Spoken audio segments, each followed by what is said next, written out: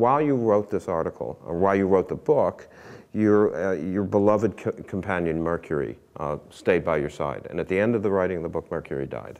Yes. And you believe that you're going to dream about Mercury. But at the end of the article, you say that you don't. But well, I just gave the ending away. Oh, well. That's all right. Sorry, because what I want to know is if, if you have dreamed of, of Mercury since writing the article.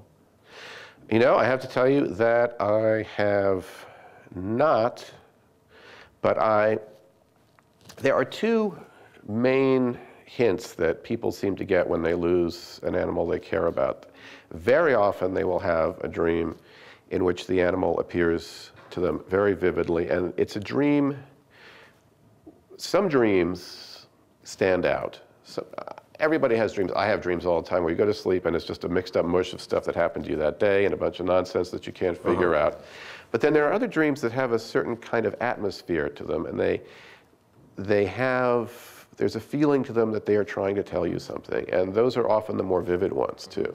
And I think dreams can tell us extraordinarily true and real things, and it's okay to be open to them because we can often trust what the dream is trying to tell us. And when you talk to people, if you ask anybody who's lost a pet whether they've had a dream about their pet, it's really surprising how often they say that they have. And it's, it's surprising how often they speak with authority about what it made them feel. And what it always makes them feel is the animal was telling them that they are okay. They're happy, they're no longer, yeah.